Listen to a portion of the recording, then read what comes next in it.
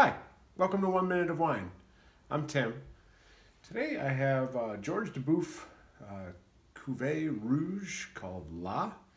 Uh, this is a red wine, red blend from France. Uh, it doesn't really specify exactly where, so the grapes can kind of come from all over the country.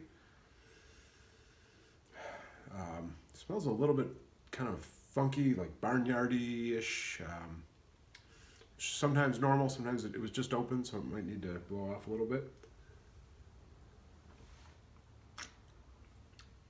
Get some dark fruit on the palate, um, and little hints of like earth and leather, tobacco.